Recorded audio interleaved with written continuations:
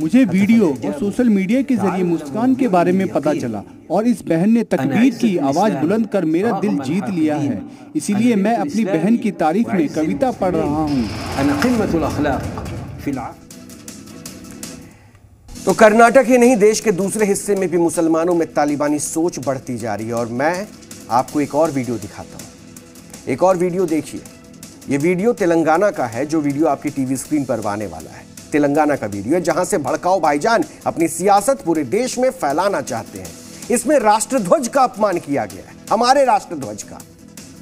तिरंगे के लिए हिंदुस्तान के तमाम वीरों ने प्राणों की आहुति दी है, लेकिन देश का कट्टरपंथी तबका तिरंगे का अपमान करने से भी बाज नहीं आ रहा। तिरंगे का अपमान करने वाला जो वीडियो स्क्रीन पर देख रहे हैं आप, उसमें बुज़ुर्ग भी हैं, नौजवान भी हैं। मतलब यह है कि धर्म के नाम पर एक पीढ़ी से दूसरी पीढ़ी में नफरत का जहर घोला जा रहा है। एक छोटा सा ब्रेक मुझे यहाँ